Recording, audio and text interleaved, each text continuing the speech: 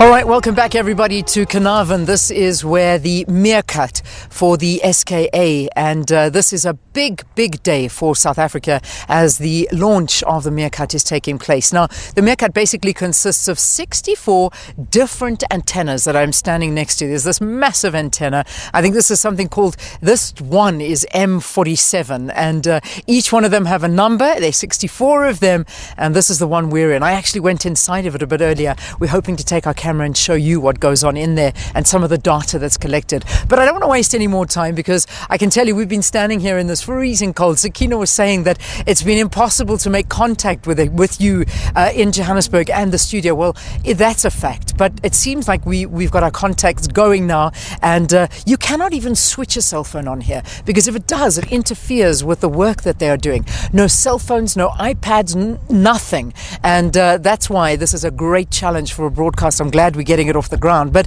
to talk to us a little bit more of it, we've got the DG from uh, uh, Science and Technology Department, Dr. Phil Mjwara, to talk to us a little bit more about this and what a big momentous occasion this is for South Africa. Good to see you. Yes, it is a big moment, Leanne, and thanks uh, to yourself and, and to your viewers. Uh, we are very, very excited that uh, this project has now been completed. Uh, 64 dishes uh, built uh, on budget, on time, 70% local content, uh, which is all South African, so we're very, very excited about this. This is massive. I mean, it's something that I, you know, I remember specifically when, when we won the bid and we were doing it in conjunction with Australia. And then, of course, building started on this. And here we stand in 2018 and it's being launched. People are flying from all over the world to come to this. Why is it so significant? I mean, if you could sort of lay it out for us as simply as you can, why is it such a big moment? Well, I think it is a big moment because uh, this is a scientific instrument first, first of all, and therefore, for the scientists all over the world, they will have access to a telescope that will begin to show images of the sky and the galaxies, the black holes that have never been seen before. Uh, later on, uh, when the deputy uh, president unveils the, the telescope and when there's a launch, you will see a wonderful picture of how the universe uh, uh, looks like uh, by just using this telescope which has been built in South Africa. So, from the scientist, scientist perspective, this is a wonderful occasion and board members from the rest of the world will be joining us. But also, there's an economic return uh, out of the investment that uh, South Africa has made.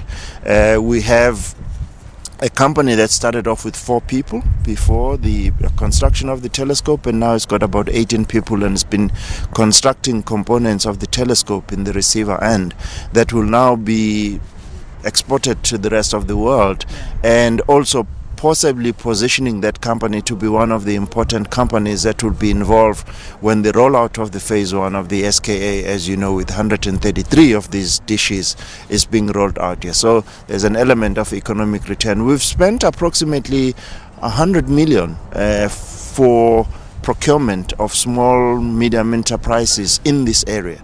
Uh, we've built a road 80 million rands uh, to make sure that between Carnarvon and, and this place, uh, you know, it's safe for people to come here. So there's an element of uh, economic return. And then, of course, there's a social return. Uh, as you know, uh, in Carnarvon now, we have a high school that is fully equipped with laboratory equipment and got the best internet. We have a number of young people who have been through our bursary program that are now studying at the University of the Free State who would never had had this opportunity uh, if the, the, the, telescope was not being built. We've also trained a total of about a thousand uh, uh, students, and a third of those students are coming from the rest of the continent and they're going back uh, to their countries to set up astronomy activities, uh, and therefore, as part of us uh, making sure that uh, we are not uh, uh, having neighbors that are poor uh, around us. So it's got different elements uh, of, of, the story to be told. So it's not just about these these these magnificent, majestic antennas that are doing so much research for the rest of the world.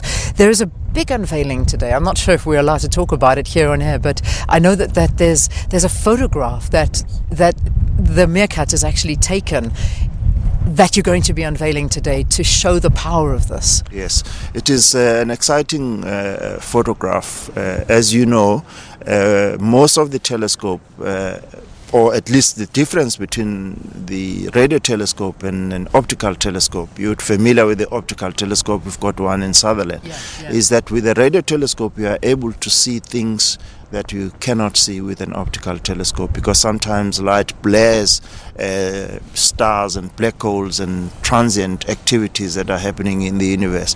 So this telescope, because it's working in this uh, uh, radio frequency, begins to unveil things that have not been seen by any telescope uh, ever built. So th- th- this is a very, very, very exciting part of, as I say, the scientific part of uh, uh, of the story, and we will be unveiling this, uh, showing things that we've not seen in the galaxies, uh, galaxy showing us uh, black holes that we haven't seen. So we're all waiting forward to that moment. That's amazing. Cannot wait to see it. That's going to all be unveiled today. So, this now is the most powerful telescope in the world, and it's being housed in South Africa in the Northern Cape, the MeerKAT. That, of course, until the completion of the SKA, and that'll, of course, be the most powerful. But this is the South African phase that is now complete. So, uh, Dr. Mjwara, thank you very much for talking to us. DG from the Department of Science and Technology. To tell you it's cold is an understatement if I've ever said. It is bitterly freezing. You're handing yourself very well, DG. it, we, we've decided between us it must be about no, minus five degrees at least. It was minus two when we left Carnarvon.